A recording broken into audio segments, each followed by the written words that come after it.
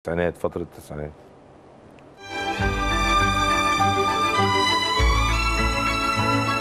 name is Felix, former player of Ahly Football Club. Playing for Ahly was a great joy and one of the greatest moments in my life as a player. To date, I'm very, very proud to be part of Ahly family. And now I want to wish Ahly Football Club the 20th century anniversary, being the best club in Africa and want to say to all wishers of the club that happy anniversary. Long live Ahly Football Club. Long live past management and past footballers. Long live all the coaches. And long live Ahly fans. Kolusana Untatai.